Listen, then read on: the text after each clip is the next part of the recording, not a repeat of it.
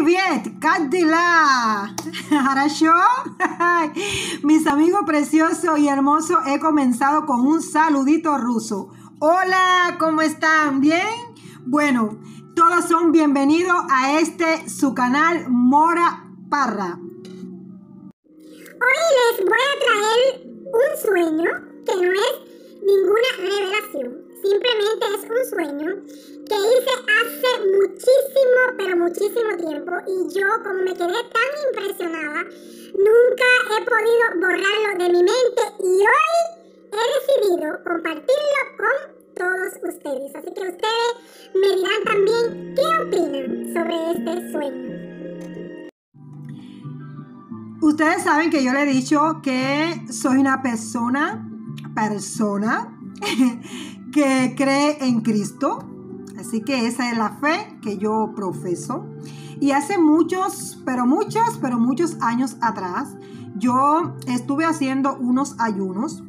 Y para los que no sepan lo que es un ayuno, un ayuno simplemente es de abstenerse de alimentos por un intervalo de tiempo que usted desee. Eh, esos ayunos yo le estaba haciendo de 9 de la mañana a 12 del día. Bien, en cierta ocasión, en uno de esos días que yo me estaba fortaleciendo espiritualmente, yo tengo un sueño que yo iba para una ciudad. Este sueño se lo voy a dar más o menos resumido, no le voy a dar todos los detalles, sino que le voy a decir lo que más, lo más, lo más relevante del sueño. Que yo iba para una ciudad, una ciudad la cual yo no conocía, una ciudad que primera vez que iba a estar en ella.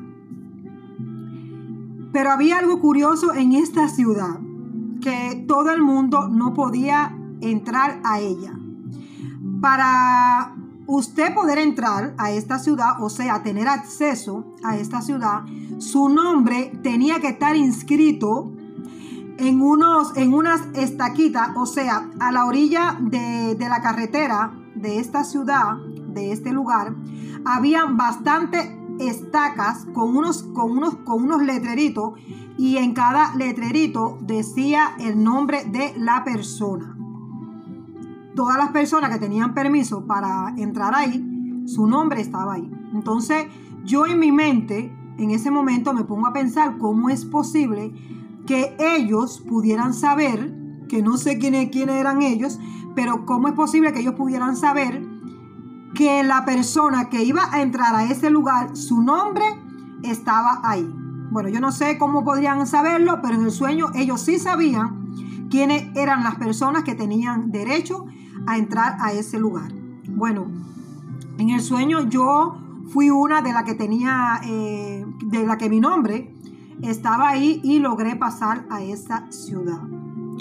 Cuando yo entro a esta ciudad, yo en esta ciudad yo no vi edificios, yo no vi casas, yo no vi nada creado por la mano del hombre. Ahí todo lo que había era natural, todo. Yo miraba para los lados y yo lo que veía era una vegetación de árboles, de muchas plantas eh, ornamentales, había hierbitas, era así como un césped, pero lo curioso era que todo era perfecto.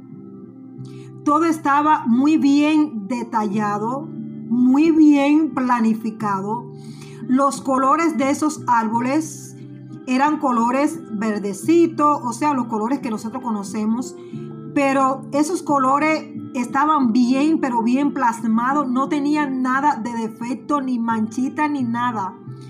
Eh, los, las hojas de los árboles y las flores que tenían las plantas eran, eran como unos colores matizados que yo no les sé explicar. En mi mente yo lo estoy viendo, pero yo no sé explicarle de qué forma yo pude, pude ver, ver aquello.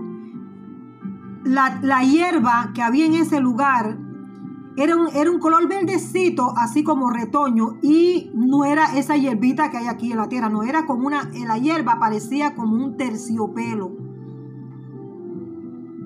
yo me quedé maravillada y yo cuando estoy en ese lugar, que estoy mirando así para todos los lados, yo decía, wow, qué cosa tan linda, tan, tan perfecta, tan, tan libre de, de, impureza. Ahí, ahí, todo lo que había era, era, era completamente eh, sano, sin defecto ni nada. Y cuando yo recordé, ya vuelvo y le repito, este sueño lo hice hace mucho tiempo y nunca se me ha podido borrar de mi mente. Yo me puse a pensar, ¿será este el paraíso de Dios? ¿Será este el lugar donde, el lugar que Dios tiene reservado para aquellos que se arrepienten de sus pecados, que le abren las puertas de su corazón a Jesús que entregan su corazón a Jesús y que lo aceptan como Señor y Salvador. Porque dice en la palabra de Dios en Primera de Corintio, déjame leérselo. Corintio 1.9 dice, cosas que ojo no vio, ni oído oyó, ni han subido en corazón de hombre, son las cosas que Dios ha preparado para los que le aman. Dice en la palabra de Dios cosa que ojo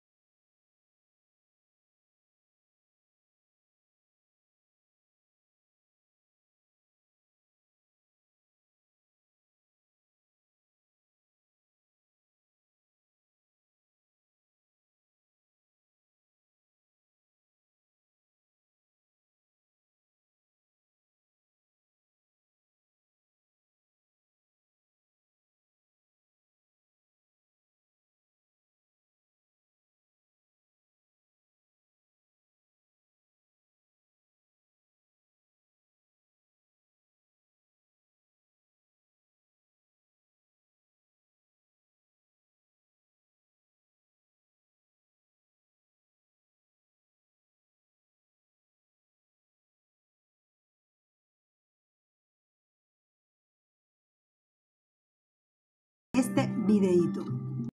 Espero que le haya gustado y que me dé un dedito arriba, que eso ayuda mucho al canal y a la persona y a todas las personas que hacemos videos para YouTube. Que si no se ha suscrito al canal, que se suscriba, que Mora Parra lo está esperando aquí con los brazos abiertos. Así que hasta un próximo video, mi gente. Los amo.